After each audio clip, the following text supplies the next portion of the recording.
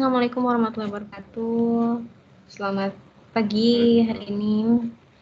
Ya, hari ini kita akan melanjutkan ya materi tentang um, apa namanya uh, whole part ya. Jadi kita akan membahas tentang whole part hari ini. Oke, okay, baik. Um, ini saya sambil langsung aja mungkin ya kita akan membahas di sini tentang membahas tentang whole part jadi seperti yang sudah dicontohkan pada saat teori kemarin ya uh, itu kan sudah saya kasih coding sekilas gitu ya uh, jadi ada mobil di dalam mobil ada mesin nah mesinnya itu kan ada ada uh, menjadi atribut di dalam kelasnya begitu oke okay.